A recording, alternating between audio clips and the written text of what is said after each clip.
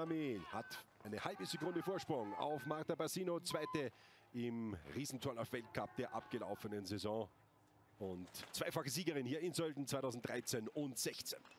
Ja, attackiert. Das ist die Läuferin, die den engsten Radius fährt, also wirklich kürzeste Wege sucht in dem Hang und ja, der attackiert. Also der macht überhaupt Spaß, das nichts. sieht man. Ja, da merkt man gar nichts an Zurückhaltung. Sehr frech jetzt in diesen Steilhang eingefahren.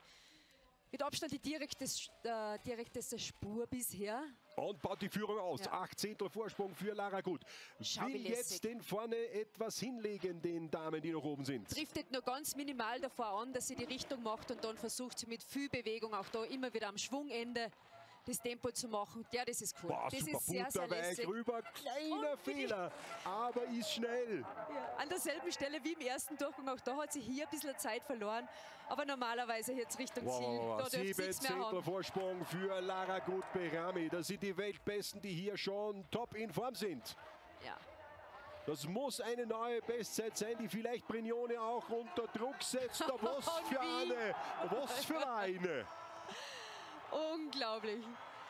Ich würde sagen, Lara Gut ist eine Sölden-Spezialistin. Jedes Mal.